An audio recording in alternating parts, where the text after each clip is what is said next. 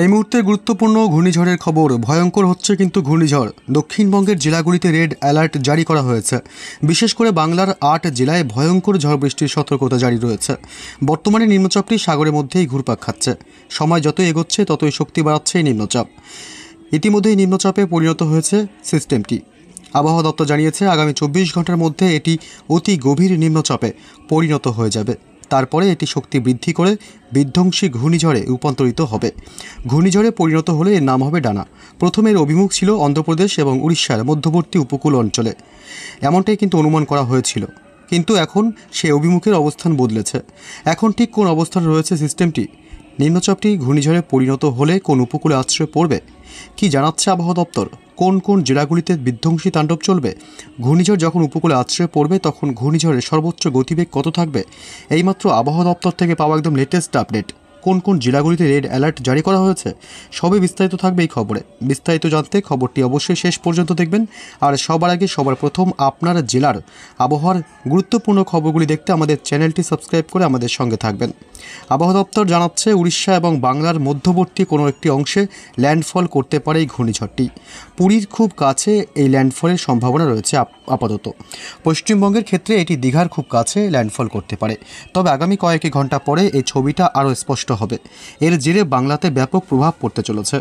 সমুদ্র রীতিমতো উত্তল থাকবে। এর পাশাপাশি দীঘা, মন্দারমণি, তাজপুরের মতো জনপ্রিয় পর্যটন ক্ষেত্রগুলিতেও প্রভাব পড়বে ব্যাপক।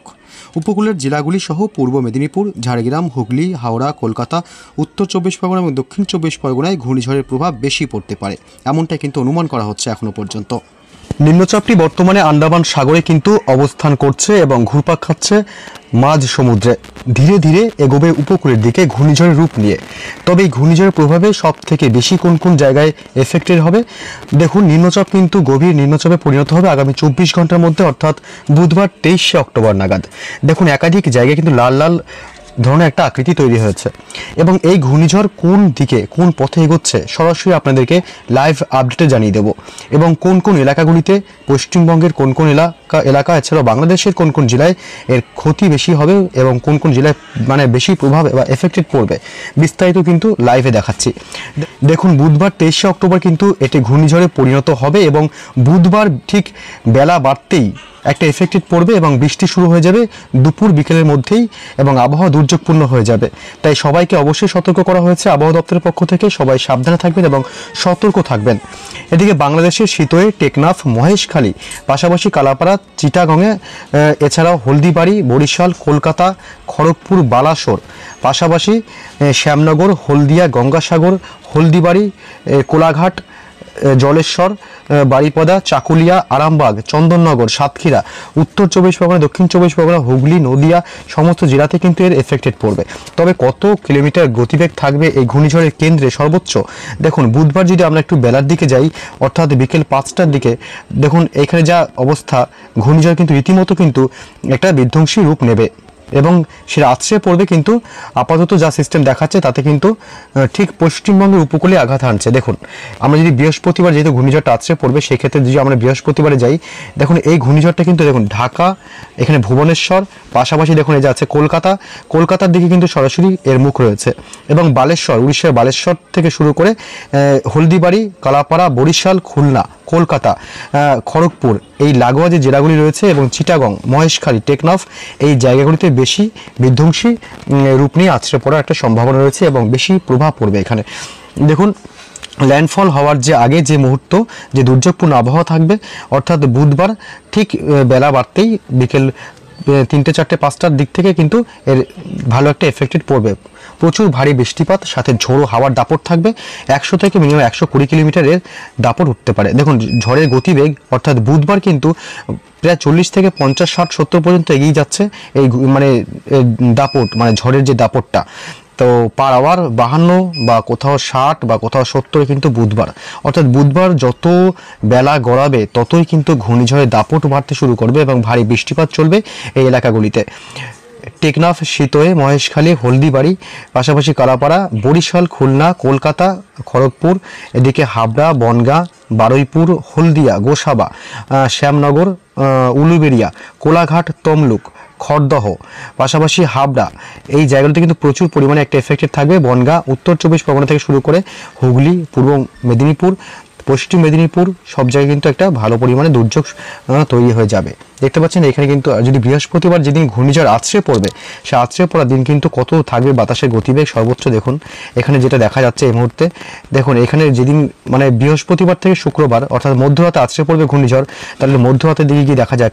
দেখুন মিনিমাম এখানে বর্তমানে যা দেখাচ্ছে তাতে ষাট, সত্তর, আশি, নব্বই, কিন্তু এই ঘূর্ণিঝড় যতক্ষণ না তৈরি হচ্ছে ততক্ষণ এটা বলা যাচ্ছে না।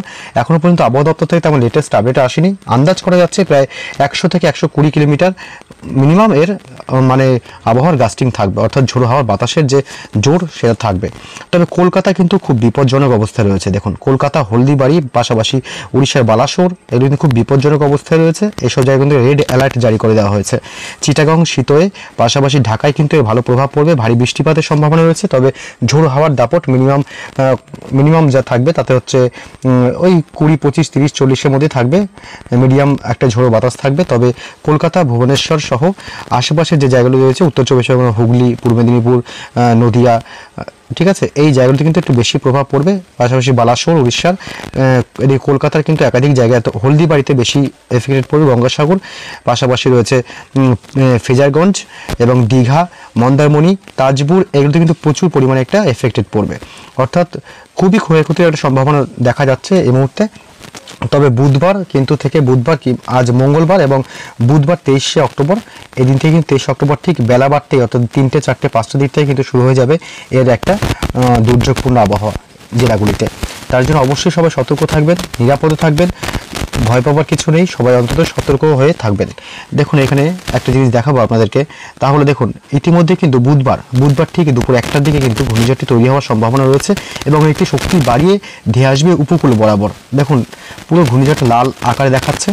ঠিক আছে এখনও পর্যন্ত লাল হয়নি, যেটা হচ্ছে মঙ্গলবার। দেখুন এখনও ধীরে ধীরে লাল হচ্ছে, অর্থাৎ ঘূর্ণিঝড়টি শক্তি বাড়াবে, প্রচুর শক্তি বাড়িয়ে তারপরে কিন্তু বৃহস্পতিবার ঠিক, বৃহস্পতিবার শুক্রবারের, অর্থাৎ বৃহস্পতিবার রাতে, মাঝরাতে কিন্তু ঘূর্ণিঝড়টি আছড়ে পড়বে, ঠিক এই দীঘার উপকূলেও আশ্রয় পড়তে পারে, এছাড়া পুরী উপকূলেও আছড়ে পড়তে পারে। এখনও পর্যন্ত এটা মানে আবহাওয়া দপ্তর থেকে সম্পূর্ণ বল- বলেনি যে কোন জায়গাতে ঠিক আছড়ে পড়বে।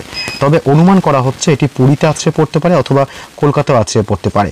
যদি আমরা অন্য মডেল দেখি, আমরা জিএফএস মডেল ছাড়া যদি আমরা E EC M F W যদি মডেলটা দেখি, সেই মডেলে কিন্তু বলা হচ্ছে যেটা উড়িষ্যা, বালাসোরের দিকে কিন্তু এখনও পর্যন্ত ঘূর্ণিঝড়ের অভিমুখটি রয়েছে। কখনো কখনো ঘূর্ণিঝড়ের অভিমুখ বদলে যাচ্ছে, আবার কখনো কখনো ঘূর্ণিঝড় কিন্তু গতিপথ বদলে গেলে কিন্তু এটা যে কোনো জায়গায় মানে আছড়ে পড়তে পারে। শুক্রবার, তাহলে দেখাচ্ছে যে শুক্রবার ঘূর্ণিঝড়টি আছড়ে পড়বে।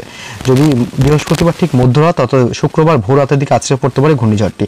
যে কোনো রাত্রে ঘূর্ণিঝড়টি হবে বলে, যে কারণে এ কিন্তু একটা বেশি এফেক্টেড পড়বে।